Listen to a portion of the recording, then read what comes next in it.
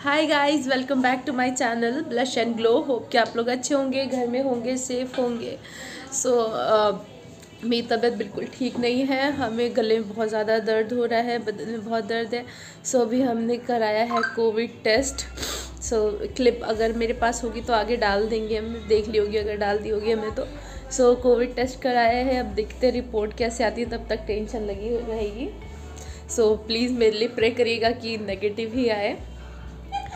Report सो so, बस आज आ, आ ही जाएगी शा, शाम तक मे भी आ जाए तो हम आप लोग को बताएँगे। सो so, मैं बहुत ज़्यादा कोल्ड हुआ हुआ है। सो so, जब हम डेली व्लॉग करेंगे और डेली वीडियो डेली नहीं एक दो दिन के गैप पे वीडियोस डाला करेंगे।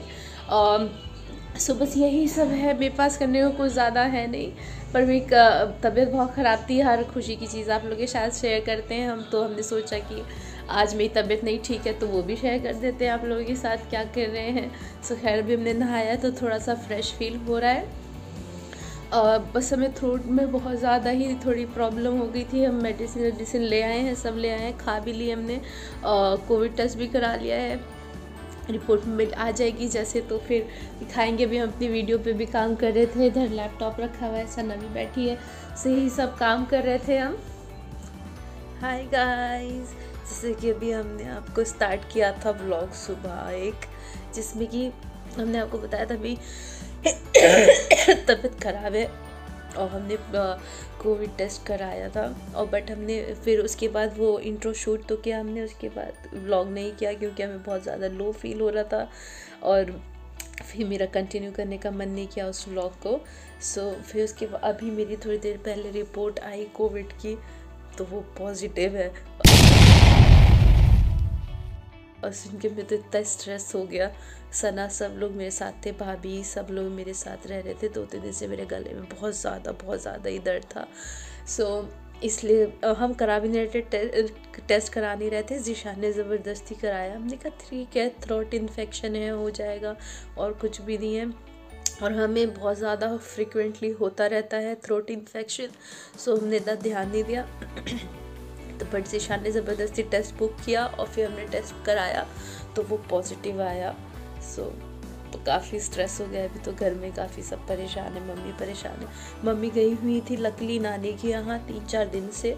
सो मम्मी आज शाम को ही आई थी बट हमने उनको अब जब रिपोर्ट आई है अभी दस दस बजे के टाइम पे तो तब से मैं इतना स्ट्रेस हो गया था तो बता नहीं पाए पौने बारह हो गया है अभी। सो सना को भी बहुत ज़्यादा थ्रोट इन्फेक्शन है और कुछ नहीं है तो वही जैसे हमें है। सो उसको भी हमने बोला कि तुम मेरे पास ही सो जाओ यहाँ पे। मतलब हम इधर का मुँह करके, उधर का मुँह करके सो जाएगी। हमने कहा, मम्मी के पास मत सोना। सो मम्मी अब इन दोनों का भाभी का और सना का टेस्ट सुबह कराएँगे। सो टेस्ट बुक कर दिया, इन लोगों का सुबह टेस्ट होएगा तो इन लोगों की रिपोर्ट अल्लाह पाक नेगेटिव ही आ जाए तो बेहतर है।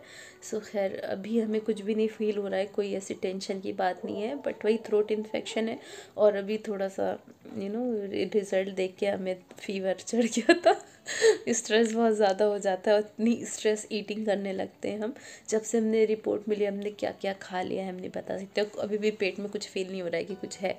इतनी स्ट्रेस हो जाता है। स्ट्रेस ईटिंग इतनी हम करने लगते हैं। सो खैर यही सब अभी हमने जो टेस्ट कराया तो इतनी टेंशन होगी क्योंकि घर में बहुत लोग हैं भाभी भी प्रेग्नेंट है।